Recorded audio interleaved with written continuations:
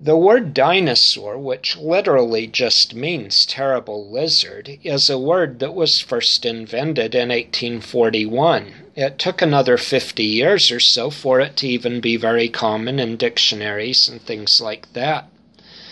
The word dragon, however, has existed through all of human history. And the word dragon also, I believe anytime somebody thinks of the word dragon, they think of a pretty terrible lizard. Um, dragons and dinosaurs, I believe, go hand in hand. It's just the word dinosaur was invented in 1841, where the word dragon has been through all of human history. We still, even today, have Komodo dragons and bearded dragons that are still alive.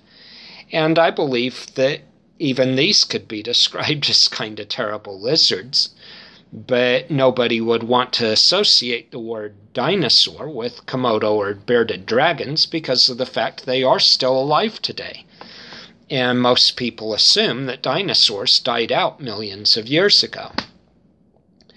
An interesting thing, though, is with dragons, there are histories of dragons um, and people keeping dragons, people feeding dragons. There's histories of kings that had royal dragon keepers, royal dragon feeders. And then nearly every culture in history has stories of people that killed dragons. Um, also, in the Chinese calendar, there's 12 animals that are featured in the Chinese calendar, all of which are real animals except for some people nowadays would think that the dragon was somehow um, mythical or or legendary, even though we still even have dragons that are alive today. Um, it's interesting too because the Bible uses the word dragon, of course, and the Bible in Job chapter 40 and 41 talks about two creatures that by today's standards would definitely sound an awful lot like what we would think of as dinosaurs um, Behemoth and Leviathan. God talks about Behemoth as having a tail that moves like a cedar tree, and as a creature that actually thinks that he could drink up a river if you think of the very biggest picture of a dinosaur that you've seen and think of the tail on that creature, that tail would have moved an awful lot like a cedar tree. And he, was, he would have been a big enough creature that you might have thought that he would have thought that he could drink up a river when he got thirsty.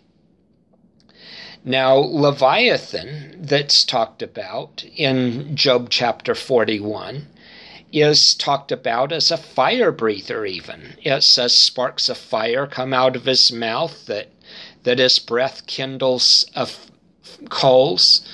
Um, so, this very definitely was a fire breathing creature. And the Bible talks about him as being a creature that's so fierce that no one dares stir him up. And it's also interesting that God describes both of these as creatures that Job could look at and as creatures that God created along with man. So the idea that dinosaurs died out millions of years ago is definitely an attack on the Bible and an attack on a young creation, both of which I believe are very clearly indicated by God in the Bible. That the earth is only maybe 6,000 years old or so, and dinosaurs were very definitely created along with man.